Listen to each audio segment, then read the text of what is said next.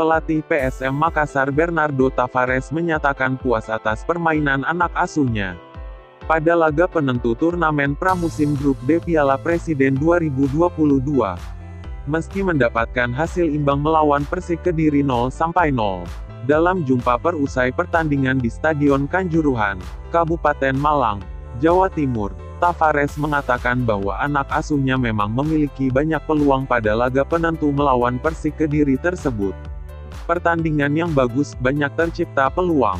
Saya gembira dengan permainan anak-anak bisa membawa intensitas yang bagus dalam pertandingan, kata Tavares. Tavares menjelaskan, pada pertandingan itu ada sejumlah pemain yang belum pernah memiliki pengalaman merumput melawan tim Liga 1. Sejumlah pemain yang diturunkan sebelumnya bermain pada Liga 2 dan jebolan Akademi PSM. Menurutnya, pada pertandingan melawan Persik Kediri tersebut ada sejumlah pemain yang mulai mengalami kelelahan akibat jadwal yang cukup padat. Ia mencatat barisan pertahanan PSM Makassar sempat kecolongan akibat faktor pemain yang kelelahan itu. Tidak banyak melakukan pergantian pada lini belakang. Mereka sedikit kelelahan dan menyebabkan kecolongan dengan terciptanya peluang. Namun peluang itu belum bisa diselesaikan oleh lawan, katanya. Ia menambahkan, kedua tim memang banyak memiliki peluang pada laga tersebut. Namun, berdasarkan catatannya, peluang yang diciptakan oleh PSM Makassar jauh lebih banyak dibanding Persik Kediri. Kita punya lebih banyak peluang yang berbahaya, ujarnya. Sementara itu, pelatih Persik Kediri Javier Roca menambahkan para pemainnya mampu menguasai pertandingan dan menciptakan sejumlah peluang.